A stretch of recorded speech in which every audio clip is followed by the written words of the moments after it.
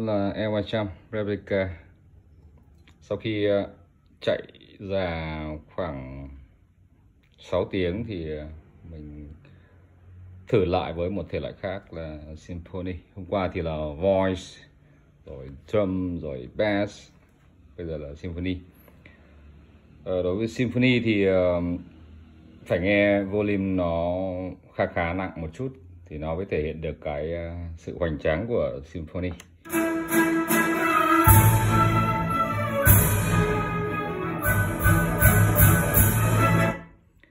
Là cái CD của Talac EM DM Master. Ờ, phát trên cái hệ thống này thì ờ, cũng không có gì làm ờ, xuất sắc cả. Đó là hàng rất là rẻ. Và Symphony, để nghe xem là cái cặp L300 Replica, tức là mình dựng từ đầu đến cuối, từ lên thiết kế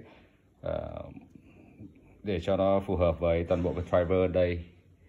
Rồi uh, chọn chất liệu uh, làm crossover thử crossover và bây giờ là nghiệm thu. Hơi tiếc là chỉ có một bên driver thôi cho nên là nghe nó sẽ lệch vế. Tóm lại là như thế. Nếu mà có bên hai bên driver thì nghe sẽ nó sẽ ổn hơn. Nhưng mà vẫn phải thử bởi vì là công đoạn cuối cùng trước khi đâu.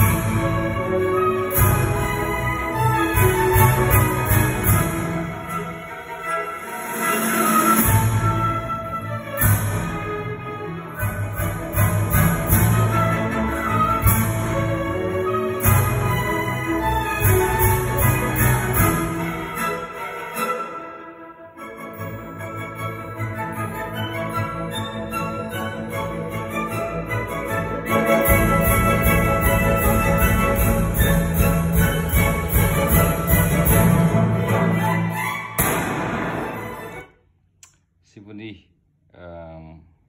một thể loại ờ, khá khó nhằn ờ, nhiều người nghe không vào tai được.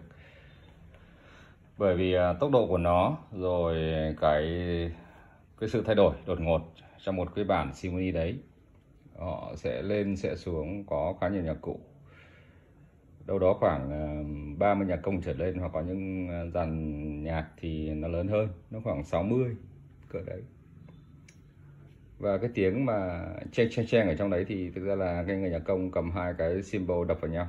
Nên nghe nó sẽ khá chát, chứ nó không có ờ, kiểu như là mềm mềm ấm ấm được, thì cái simban đó thì không có thể được. Simban mà ở cái vị trí dàn trống thì nó sẽ, tiếng nó sẽ nhẹ hơn, nhưng mà lách lách lách lách lách nhưng mà cái tiếng simban người ta cầm, hai cái simban người ta đập vào, thì không thể nào mà nó giống được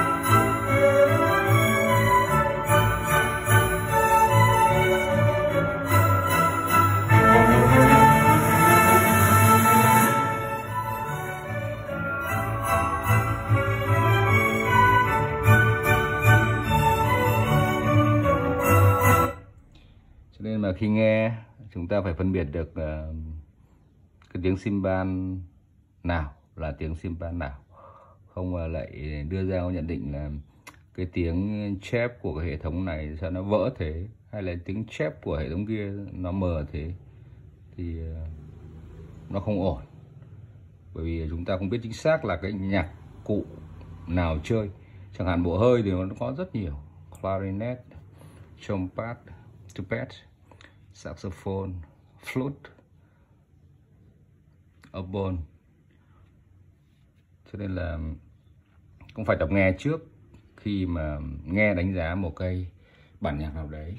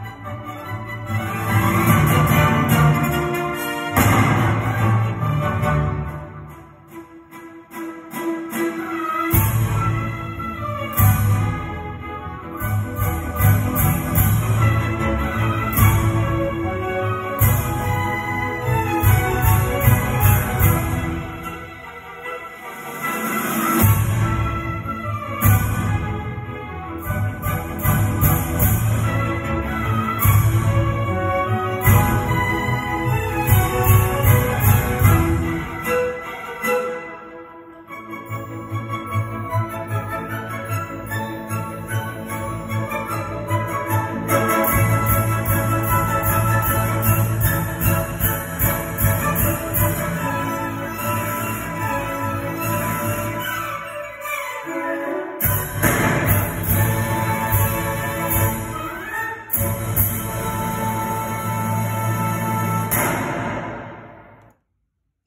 là một bản khá đặc biệt mà mỗi một dịp năm mới thì à, dàn nhạc của Wien, quê hương của thiên tài âm nhạc Mozart sẽ chơi vào cái dịp năm mới. Trong đó có rất nhiều bản mà khá nổi tiếng, chẳng hạn như là Blue Danube, rồi à, Polka, Rapustin chẳng hạn.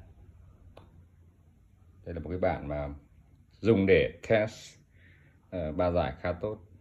Maximum luôn. Twitter cho hoạt động tối đa mid cũng thế và phần bass cũng thế.